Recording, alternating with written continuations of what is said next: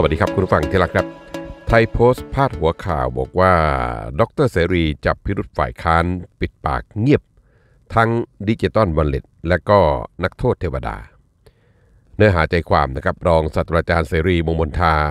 ได้โพสต์ข้อความลงใน Facebook โดยมีเนื้อหาดังต่อไปนี้นะครับ อาจารย์เสรีบอกว่าฝ่ายค้าน จะไม่พูดจาอะไรเลยเกี่ยวกับ digital wallet และก็นักโทษเด็ดขาดชายที่อยู่ห้อง VIP โรงพยาบาลตำรวจเลยแหละคะ ตกลงพวกคุณเนี่ยเป็นฝ่ายค้านจริงหรือเปล่า หรือว่าคุณมีข้อตกลงอะไรกับพรรคเพื่อไทยหรือเปล่า ถึงได้เงียบขนาดนี้พรรคร่วมรัฐบาลก็เห็นดีเห็นงามกับการปฏิบัติของพรรคเพื่อไทยในสองเรื่องนี้เหรอคะ เงียบเลยไม่พูดอะไรทั้งสิ้นเลย มันเป็นเรื่องของมารยาทหรือว่าเรื่องของการเกรงใจกัน หรือกลัวว่าจะถูกขับออกจากการเป็นพรรคร่วมรัฐบาลล่ะคะคิดถึงประเทศให้มากกว่านี้เถอะนะถ้านักการเมืองเห็นแก่ตัว ประชาชนที่เลือกนักการเมืองก็จะเห็นแก่ตัวตามไปด้วย ไม่เห็นแก่ชาติแบบนี้เนี่ยอนาคตของประเทศก็น่าเป็นห่วงนะคะ